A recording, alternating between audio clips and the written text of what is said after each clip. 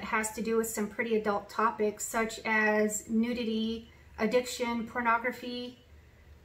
So I, if you have any children, it's probably not a good idea to let them watch the video. Also, if you have any older kids, you probably want to watch the video yourself before you let them watch it and probably discuss the topics in the video with them. Anyway, I'm going to start off by giving a small introduction of myself. I am White Mountain Apache and Chippewa from the Bois Forte Band in Minnesota. And when I was a little girl, I grew up on the White Mountain Apache Reservation. My mom is full-blooded White Mountain Apache. Mm, she speaks Apache fluently and she grew up, uh, you know, in a time where her mother still wore traditional camp dresses and things like that way. When I was a little girl growing up on the White Mountain Apache Reservation in Arizona, my mom told me and my brother that she was told as a child that if you look at naked people, you could go blind. And so she told us, you know, never to look at naked people because you'll probably go blind. You will, you will go blind. She didn't say probably, she said you will. Anyway, uh, she said that that's what she was told when she was a little kid. Now, obviously, after you get married, that, you, you know, we understood that uh, married people, our parents probably, that doesn't apply to them but um and you know there are other times in your life when you see someone naked you know like if you're a doctor or, or if you you have children and you have to bathe them and care for them. But that's not the type of nudity they were talking about right?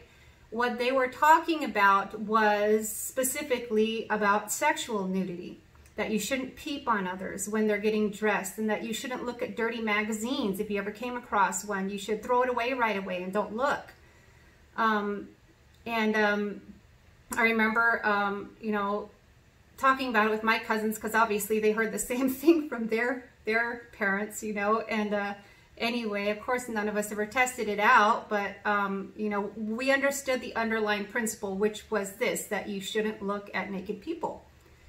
Anyway, uh, so two years ago, I wrote a post on Facebook, and it showed up just a couple of days ago in my Facebook memories um, thing that shows up on your homepage. Anyway, it said, I wrote, when are people going to realize that nobody wants to see them naked or close to naked or almost naked or almost completely uncovered or running around in their skivvies, which is underwear, as you know, or wearing something that looks like they are running around in their skivvies or anything like unto it. Sorry, that was a mosquito unless they're married to you. Probably never for a whole bunch of people because they do it every day and you got to put up with it to be polite even though it's awful to have to look at. People don't understand that it doesn't matter if you've got a nice body or not. It's still awful for the majority of the population to have to see all of it or close to all of it or even a whole bunch of all of it. Anyway, someone commented under it saying that if this comment was true, then why does pornography exist? And that leads me to my topic, which is don't look at naked people and don't run around naked. When most women say no one wants to see, it typically means a lot of normal people don't want to see, and that is almost universally understood. Sure, there are a lot of sick people out there that need help. A lot of people that watch porn are porn addicts, and they need help. There are some people that are so evil that they will do it regardless of the knowledge that there is help available or the knowledge that it is wrong. And um, most people that start watching porn get a feeling telling them that it's wrong, but they don't really realize how bad it is. And a lot of people get sucked into pornography before they realize that it's addictive.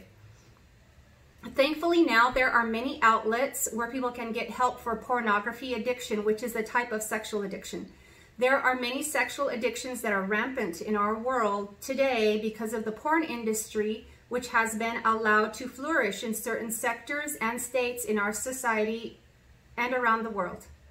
Some include porn addiction, sex addiction, which manifests itself as often having sex with people who you barely know, and prostitution and others. In addition, there are also relationship addicts who jump from one romance to another, always craving the excitement of a sexual experience with a new lover. The symptoms and the destruction caused to the people who are afflicted with porn or sex addiction are just as bad as any medical disease out there. I remember just six years ago when Obama was, was president, how you could do an internet search for anything and dirty pictures would show up on the page. By dirty, I mean naked people, many of them doing sexual things. The moral behavior of society often reflects what people think is permissive by the leadership in society, which is why I brought up the thing about it going on a lot, me seeing a lot more of it during uh, the time when Obama was the president. Now, Obama never said that he supported any of that kind of stuff, but um, at least not that I know of, but a lot of sexual behaviors that are outside the norms of society, like homosexual behavior, really took a strong hold in the laws of our country during Obama's presidency due to his open support of that type of lifestyle. As a result, many people who had alternate alternate lifestyles like those who support pornography and prostitution or participate in it uh, felt safe in their ability to promote their lifestyle upon the rest of society and those lifestyles along with the businesses with them Uh, along with the businesses associated with them, grew and flourished. A lot of people who have gotten addicted to porn and became sex addicts over the last century since it has been a matter of scientific medical study were roped into it when they were too young to know what was going on. From a lot of the stories that I read online, this happened to many people who accidentally came across porn magazines or accidentally came across it on the internet. Many who had it worst as teenagers and adults first came across it when they were around seven years old. These often are people who are involved in the most destructive forms of porn addiction by the time they have reached young adulthood. And I also uh, saw that, you know, a lot of people that have gotten themselves into um, worse types of behaviors that get them in trouble with the law really got involved in it when they were very little. Many people who have grown up in the world after the internet became a big thing had their first sexual experiences from accidentally coming across porn. It is very, very, very addictive and purposefully so. The porn companies don't leave anything to chance. They study the ways to gain first-time users and study how to keep them addicted.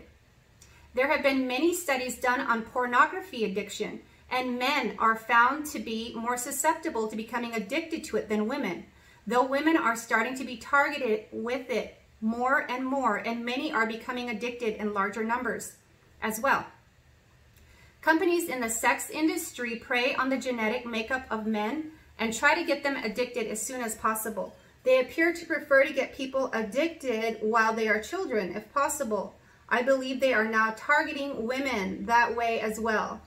Many men are addicted before they ever have their first girlfriend, before they ever fall in love, and before they are ever even married. In short, their first sexual experiences are described by sex therapists as having been with a computer. This is very different than what most humans experience throughout existence on this earth. This happened to many men who became young teens around the year 2000 and later. Many of these people have shoulder, shouldered the full onslaught of what the internet, media, and marketing companies could throw at them before they were even adults. This was unforeseen and the knowledge of how to deal with it or defend oneself against it was not available. As such, many people have had their bodies and minds warped by an alternate reality created by conspiring and devious individuals. There have been also so many marriages and relationships that have been completely destroyed because of this evil. I have also read studies which detail how some norms our culture has as well have prepped and primed men and boys for addiction with the way women dress in public. Like I said, studies have been done on this very topic, many of them. Men are wired differently than women being constantly bombarded with sexual images, in the form of scantily dressed women on screen, on billboards, and in public changes their mental structure enough over time that when men when many men are first exposed to pornography they are hooked already. This is one of the primary forms of introduction to pornography that men and boys are dealing with without even knowing how it is affecting them over time many people don't think that it is that big of a deal um, to go out wearing short shorts and low cut shirts or shirts that show their midriff. However, marketing advertisements and the type of dressing from people, this type of dressing from people where they're dressing, um, you know, really scandalous or in scanty clothing, um, whether they are working out, going for a run, or just heading out for a night with friends, preps and primes a man's brain. And I repeat, and I repeat, oftentimes this is where they start down the road to addiction. By the time they have seen their first dirty image, their brain is already ready to attach onto it, to latch onto it, and then to start down an even worse addictive spiral. Perhaps people reason that men wouldn't become addicted to things like porn if they didn't want to. They might say that it's the person's fault that is going through the addiction because they should have the willpower to know better and the sense to stop. Or they should have listened to what was taught to them in church. Or maybe they should have even cared that there was church to begin with and they should have been going.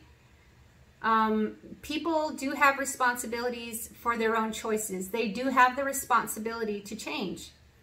Parents have the responsibility to protect their kids. People have the responsibility to say no to buying or looking at porn before it ever becomes an addiction people have the responsibility to dress in a manner that is not going to become the building blocks for addiction in another person. In addition, many people, as I said earlier, were innocent when they were fir first exposed to it. Porn companies make sure to target people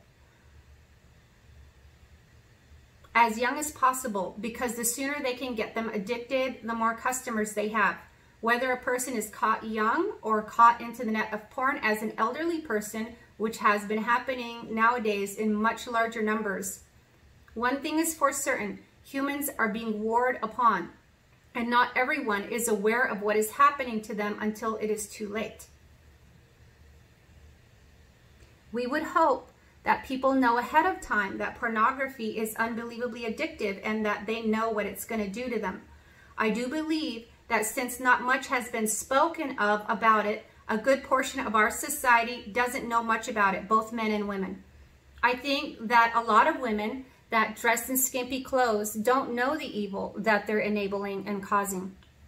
I do know that there are a lot of good Christian women out there that run around in short shorts and tank tops and low-cut blouses at church activities of various churches even. And even at Sunday worship and no one thinks anything about it. Some might reason that we need to look at the heart of the person and not the body. We should focus on a person's heart because that is what is valuable. And we should welcome anyone, even if they haven't been taught about modesty yet. However, we do need to teach modesty in dress to the members of our churches for the safety and health of our society and upcoming generations. I do know that there are many people out there that just don't know.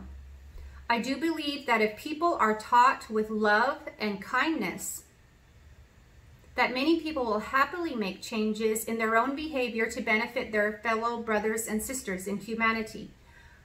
I want you to know that there are few things on this planet that can destroy a man so thoroughly and quickly than having a porn or sex addiction. I was told about a year ago, a year and a half ago, by a person that I was good friends with that he had read that the number one way that people who have this type of addiction commit suicide is by blowing out their own brains with a gun. Why would someone do that? Um, well, here's a little bit about how having this type of addiction affects a person. When a person is in the full throes of a porn slash sex addiction, they often don't know what is happening to them. While they are in the act, um, you know, however the addiction manifests itself, whatever behaviors they are doing, they're often unable to stop until after it has happened. Their brain structure has changed enough that the fight or flight center of their brain, which also contains the pleasure center, hijacks the decision-making capabilities of the prefrontal cortex where logic and spirituality reside.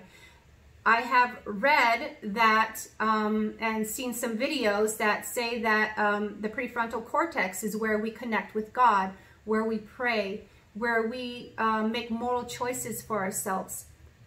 And um, basically anything that is spiritual, all of our decision making, the, the choices we make, the kind of person we want to be, that's where it resides. At that point, the central brain has taken over because porn addiction rewires the brain by creating a new neural pathway. As the person engages in whatever the sexual activity is that defines their addiction, they start down behavior that is no longer governed by the prefrontal cortex, decision-making part of their brain. At that point, I have read that the addicted person can't stop what is happening to their bodies until it is over. That is what defines an addiction. An addiction defined by psychologists usually is that a person can't stop even if they wanted to. They need help.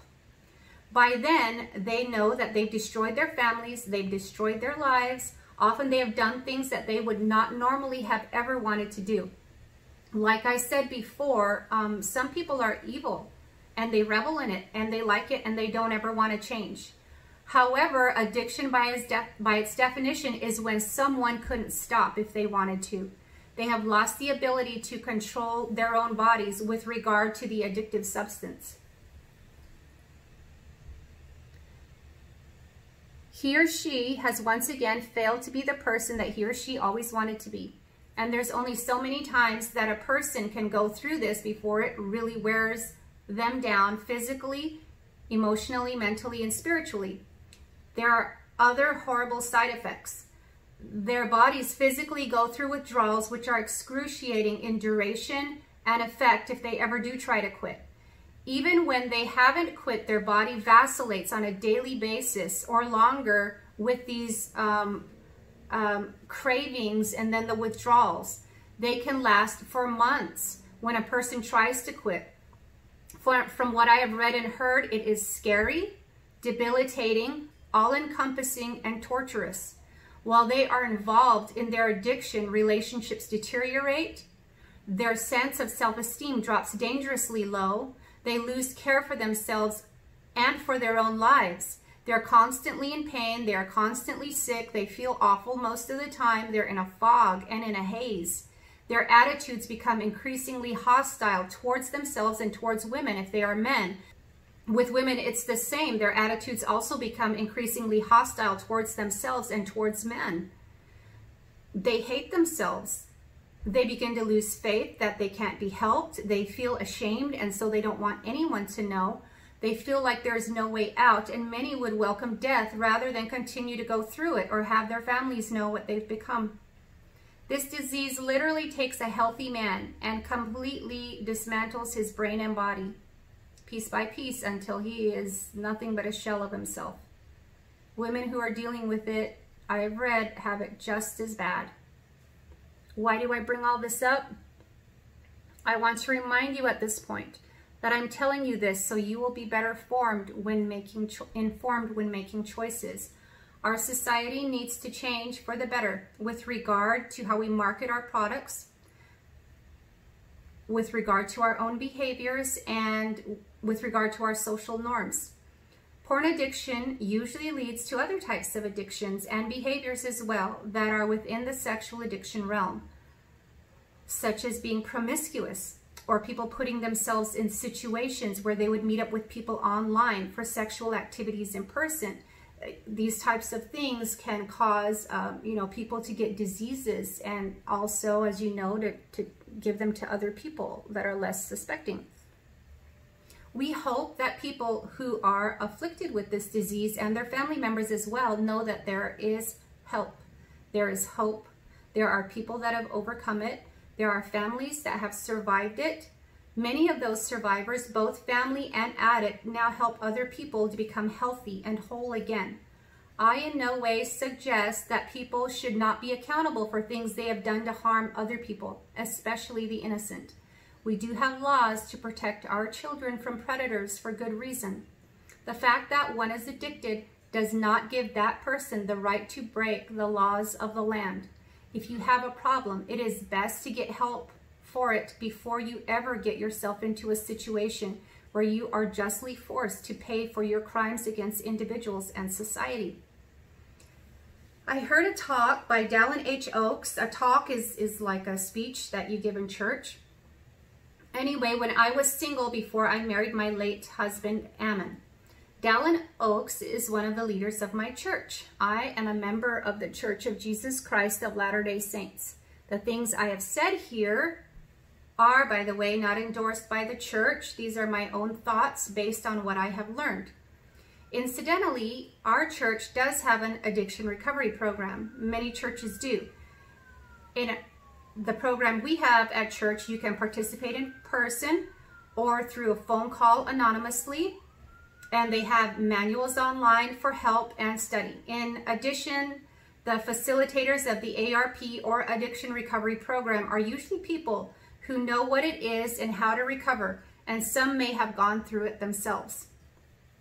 Anyway, Dallin H. Oaks was saying to men in that talk not to become involved in watching pornography.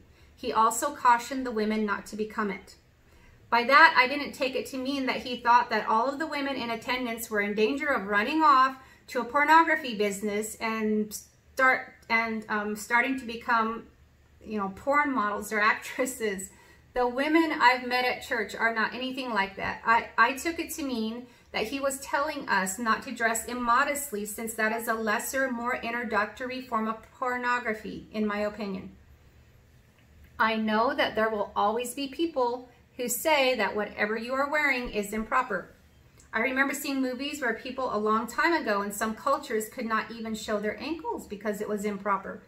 However, just because there will always be people who are extreme in their standards of dress in the opposite direction does not mean that we shouldn't change our way of doing things if what we are doing stands the chance of hurting other people. In the word of wisdom, which are dietary recommendations, which many of us choose to follow in my church, which help us to stay healthy, it says that this law is good for the weakest of saints. The word of wisdom was, and I quote, given for a principle with a promise, adapted to the capacity of the weak and the weakest of all saints who are or can be called saints. Do we care for the weakest of all saints? Who might be those who are more predisposed to sexual addiction, whether from genetic or environmental or sociological factors? Or do we put a stumbling block in their way? and then say that they should have more willpower when they are destroyed by our, by our collective behaviors as a society. Furthermore, I know it seems like the girls who dress in scandalous, skimpy clothing are getting so much more attention. It's a big problem when you are single and trying to find someone to marry. It hurts, especially when you have lost the affection and attention of someone you really like to a girl who was dressed that way or who dressed that way fairly often. We have to trust God first. He will provide. Our covenant and commitment is with him and no one else.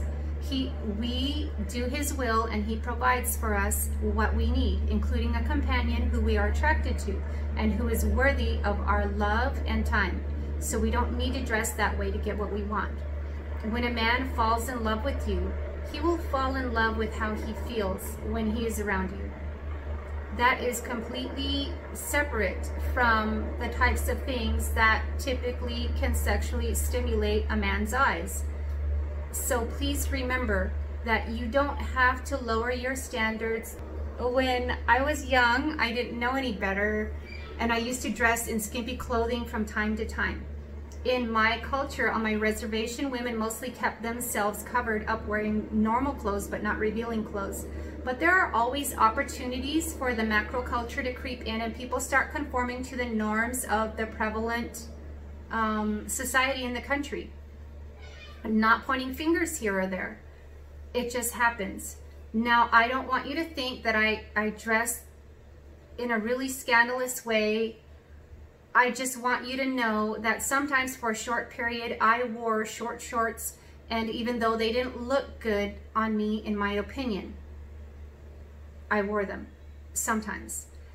And it didn't really last that long because I didn't like the way I looked in them and was always self-conscious about it. I also wore a midriff shirt a few times. I wore a scandalous Halloween costume at least twice. It wasn't all the time, but it was sometimes. I never felt like I looked good in tank tops, but I wore them once in a while. In 1998 was when I became a member of the Church of Jesus Christ of Latter-day Saints. I was taught by the missionaries at that time, and I learned about the law of chastity according to what the church teaches, which is abstaining from adultery and fornication. I also learned the I also learned about dressing modestly after I joined the church. I understood the importance of dressing modestly for my own self-respect and to give glory to God because my body is a temple.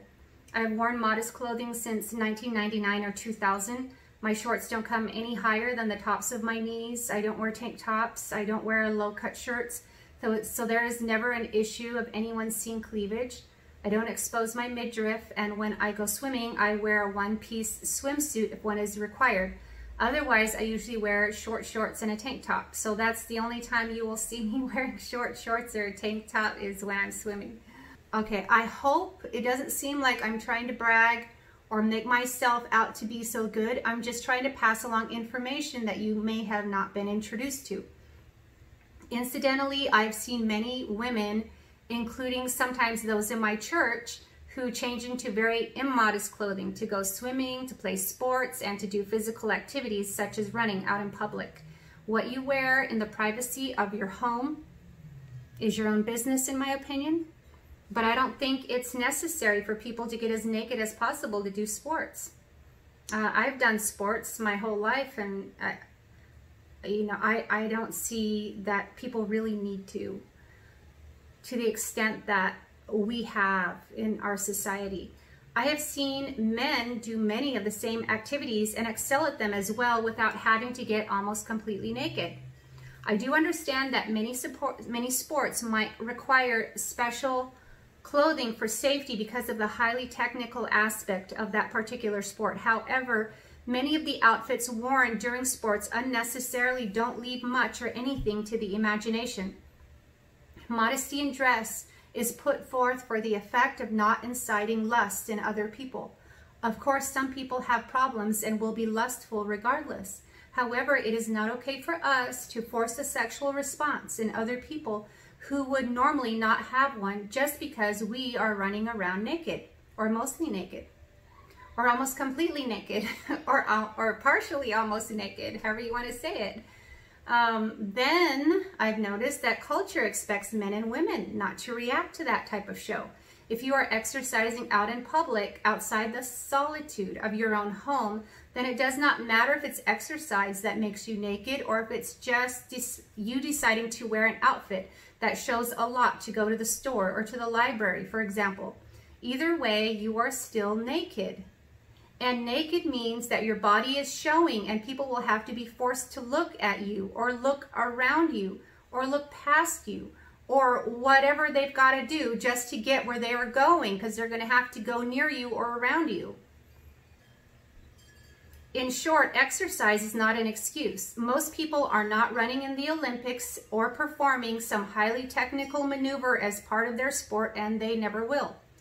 Wearing a tiny pair of shorts and sports bra in public, for example, is not going to make you run any faster than what you are already running. At least not enough to justify you putting on what most people would consider a show for everyone to see, though like I said before, they will be too polite to ever mention it to you. Please don't think that I'm trying to body shame you or make you feel awful. I don't believe in being judgmental. I do believe that if you care enough about others, that, that you will kindly, in a spirit of love, impart knowledge and wisdom to them that you have gained yourself. Please don't lie to yourself. If you are scantily clothed and exercising, it does not mean that you are more covered than if you are not exercising. Your body is exposed either way. The reason I say this is because there seems to be a disconnect in some people's reasoning where they think that for some reason if they are exercising, then their tiny short shorts are fine and no longer considered short because they were running or playing volleyball. However, if they were not exercising and that same person wore a super short pair of shorts that's the same length as their running shorts, this same person would feel like they were completely exposed and being immodest, dressing immodestly. I bring this up because I have seen women in my own church do this, though it is not always the case. I have heard women discussing it in Relief Society on occasion. Um, some women will argue their right to wear skimpy clothing in public, and for some reason it's only okay to do this when they're exercising. Please be honest with yourself. Please be considerate of others. Once again, please understand that what I am saying is not considered official church doctrine at my church. I also want you to remember that I'm not trying to make you feel bad, and I hope that that is not the case. I wanted to reiterate that before I bring up another touchy subject. Other women will not appreciate you having broadcast your wares out to their boyfriends, husbands, children, and any other man in their life that they care about. I'm sorry to say it that way, but that's how people see it when they have it right in front of them. We live in a society that is polite enough, that people don't want to cause disruption by letting you know that your dress is causing them discomfort. I have seen and heard of men who look away in embarrassment and sometimes discomfort at someone wearing clothing that is revealing. Sometimes these men are scoffed at and treated like they are not men if they don't like looking at it. There is a reason people only get married to one person at a time. It's because they only want to be intimately acquainted with and sexually intimate with only one person and not everyone who is walking down the street or running down the street. Please be respectful of other people's bodies and seek not to elicit a forced sexual response from other people that is not asked for and not invited. Humans are built to react to visual stimulus. Unfortunately, our bodies seem to notice large portions of exposed skin. It's out of the norm, and when you're in public and you see that much exposed skin, often people will just look that way without even realizing. And it's part of the reason is it's just not that normal to see. Um, in many studies that talk about porn addiction, the studies, uh, the people who did the studies say that men are genetically built to be turned on by visual stimuli. So immodesty can, in a manner of speaking, force a sexual response in people. Modesty is when we choose not to do that.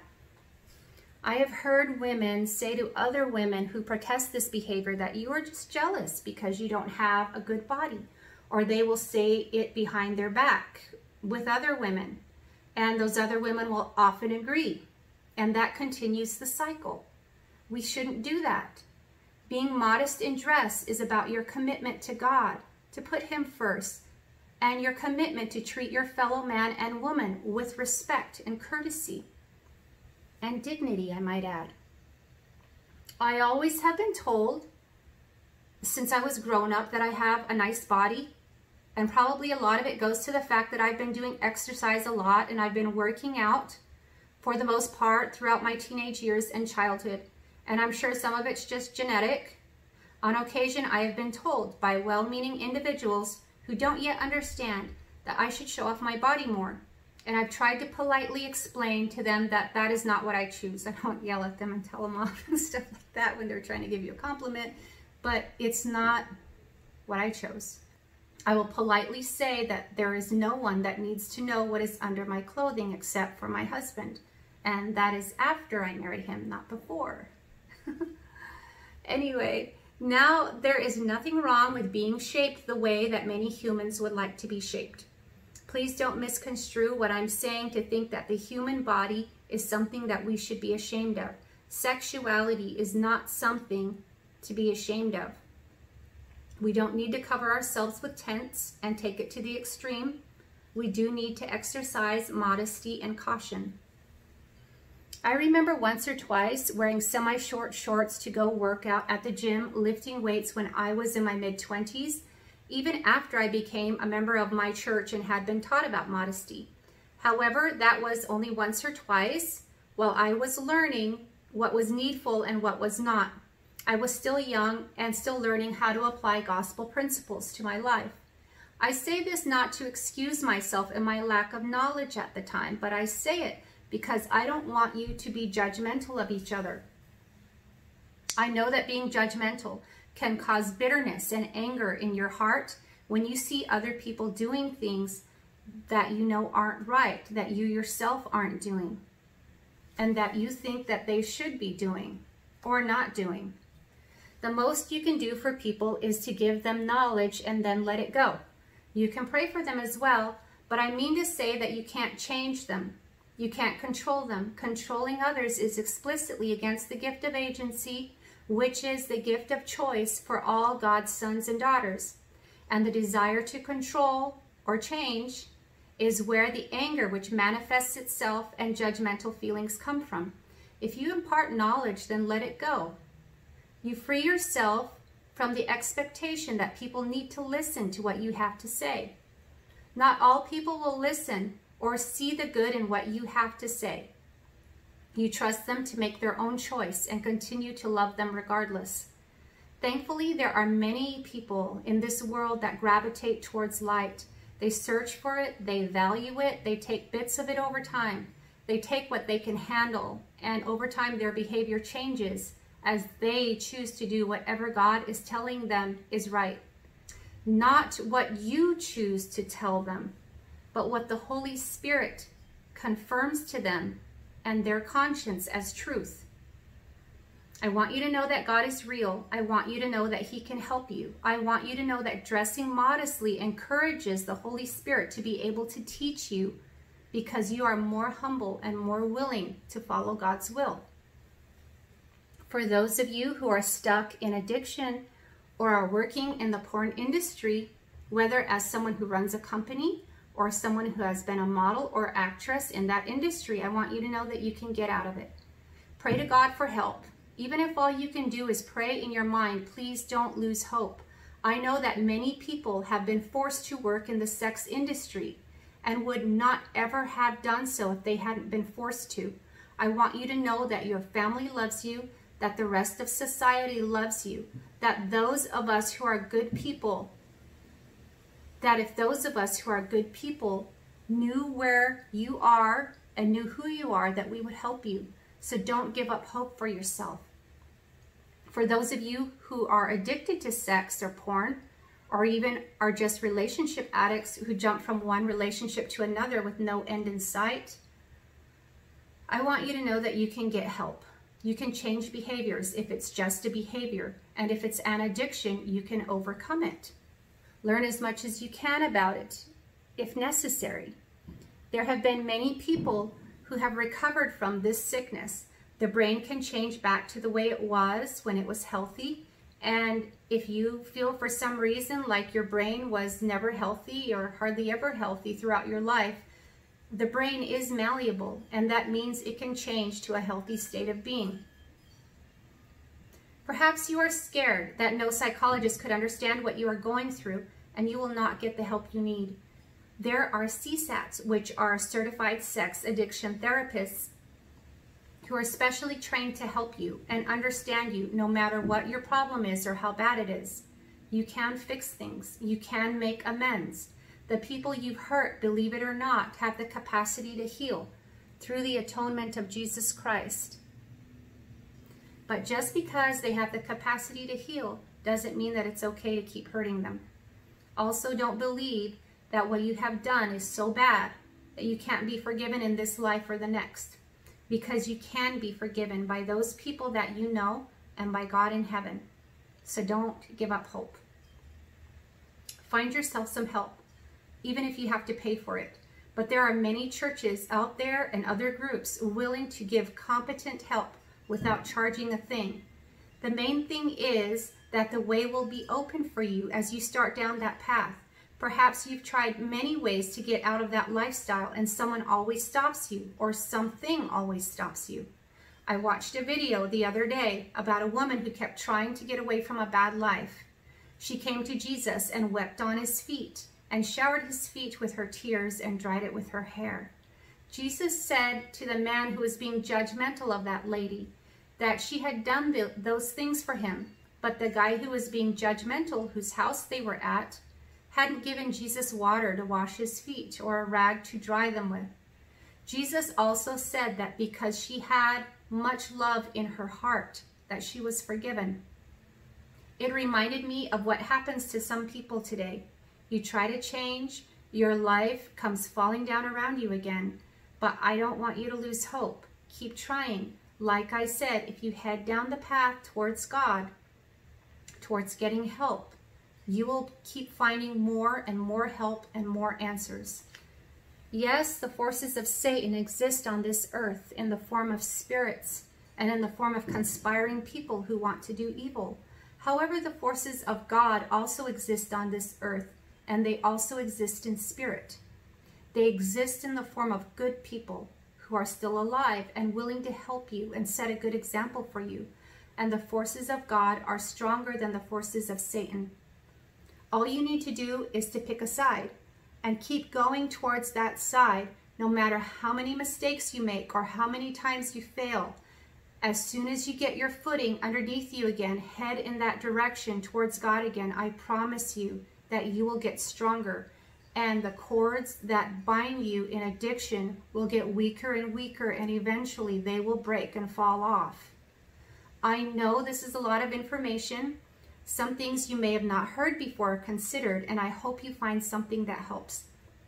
And also, please don't think that I'm ever going to be judging you if I ever see you in public. I don't, I'm not a judgmental person, and I don't, I don't prefer to be a judgmental person. I don't like to be. Um, you know, and I don't expect that I'm going to go outside after I post this video and all of a sudden everyone's going to be running around in modest clothing. uh, um, but um, I made this video for the purpose of perhaps helping out some people out there that, um, you know, are just looking for information. And I hope that you found something in this, in this video that was helpful to you. And thanks so much for watching. Bye.